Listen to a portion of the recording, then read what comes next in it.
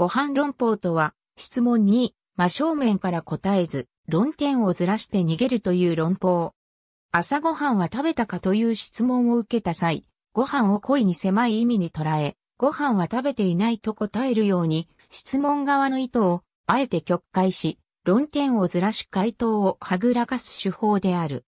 報道によっては、ご飯論法とされることもある。2018年、法政大学教授の上西光子のツイッターへの投稿がネーミングのきっかけになり、ブロガーで漫画評論家の神谷高幸が名付けて国会審議でも引用された。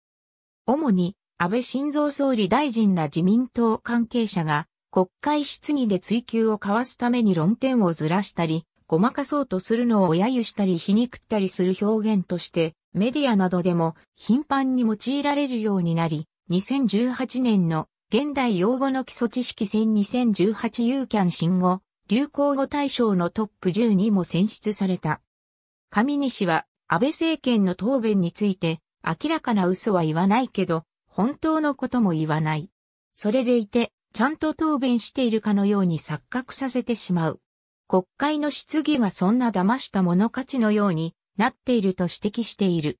森島県は、ご飯論法を安倍晋三内閣のお家芸、論点を外して、質問に答えず、時間化、正義をする答弁、到底真摯な答弁とは言えず、脳を出し切る姿勢とは逆の姿勢と非難している。ジャーナリストの池上彰は、質問に真正面から答えず、論点をずらして逃げるという安倍政権特有の論法、としている。ご飯論法の追求化、わしには以下の特徴があるとされる。